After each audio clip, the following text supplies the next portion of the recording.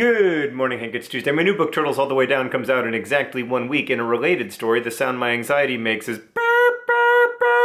but today I want to talk about other books I read this year and want to recommend to you. Let's do this by genre. Okay, we'll start with YA fiction since that's what I write. Aside from The Hate U Give, which as I said in my blurb I truly believe will be remembered as a classic of our time, there are a few books I want to recommend, all of which made me cry, although to be fair, I am a bit teary of late. First, The Inexplicable Logic of My Life by Benjamin Alire Saenz, whose books are always so tender and generous to the reader, as you'll know if you've read Aristotle and Dante Discover the Secrets of the Universe, but this one might be my favorite.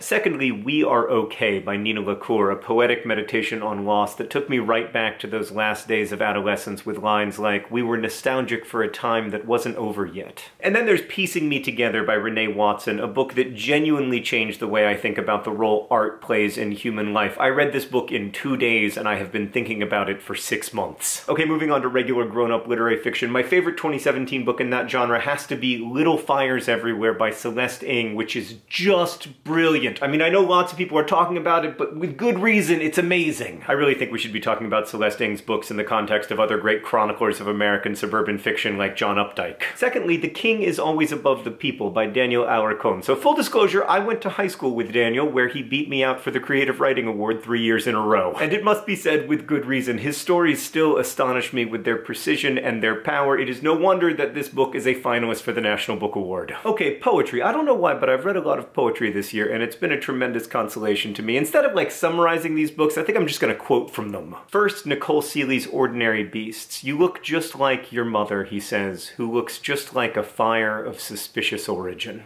Then there's Kaveh Akbar's brilliant calling a wolf a wolf. Time will break what doesn't bend. Even time.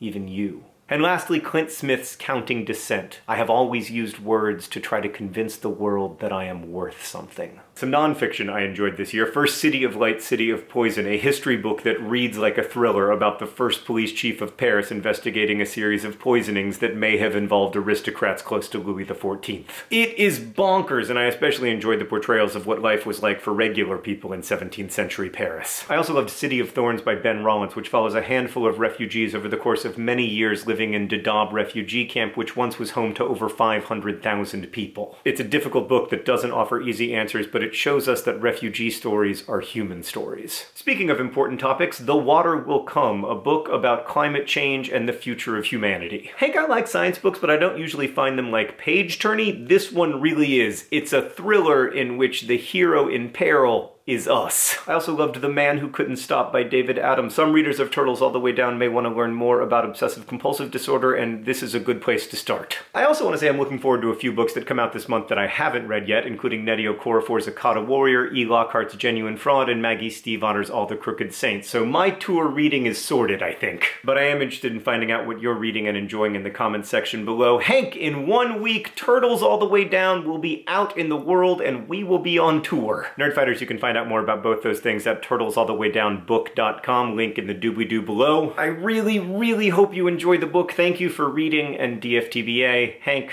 I will see you on Friday.